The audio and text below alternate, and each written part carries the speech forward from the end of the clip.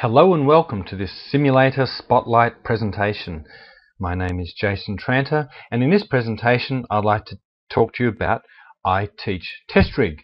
This simulator is also available in iLearn Hands-On Professional. So even though the software will look a little bit different uh, with what I'm about to show you, um, it is, all the functionality is available in iLearn Vibration Professional. So we'll just wait for it to start up.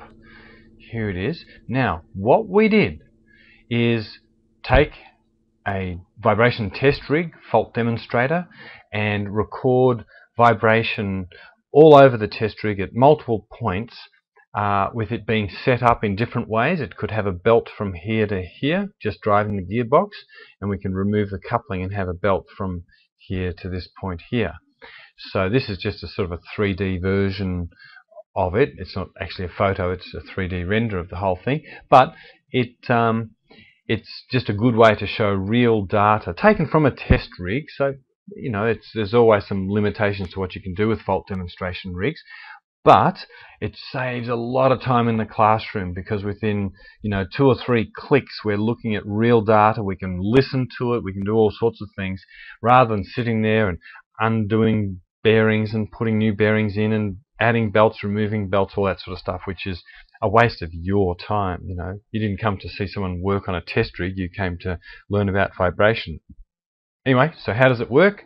We say, give us a condition. So we can say, you know, unbalance, and all these little yellow buttons here mean that there is data available, but the best data happens to be available from this point here. So we click and say, do I want to see the vertical reading, the axial, the horizontal, or the tachometer signal, if we can, if we wanted to do that.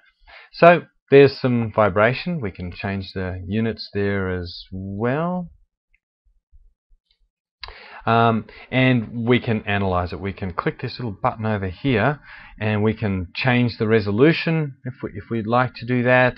We can change lots of settings, the number of averages, change the units, log, lin, all sorts of things. So basically, you, you just decide what data do you want to look at um, and uh, away you go. So another good example here is looseness with the machine. There's also run up and run down tests as well, and then we can you know look at the data. So here we can see in this time waveform in G's, the the impact says that we, we loosened off on these bolts here, and as the shaft turned, I think with a little bit of unbalance, it caused it to, it was loose, so it rocked back and forward, and you can see, you know, once per revolution, bang, bang, bang, bang, bang. You can see the symmetry of the data, it's moving a lot more in one direction, and here's the classic you know 1x uh, vibration. So there's uh, a 1x peak with with all those harmonics. And I can get in here and I can zoom in and take a closer look. I can play the vibration uh, again I can click there to make it sort of lock in on that frequency. Lots of things I can do. I can experiment with different types of averaging. There's just so many settings. I can analyze it. I can play this vibration out of the computer into a portable data collector as well.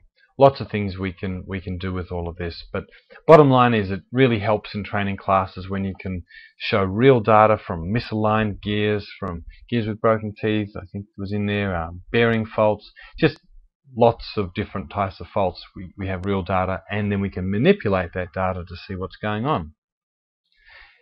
Anyway, I hope you enjoyed that presentation describing iTeach TestRig. Thanks very much for taking the time to view this presentation.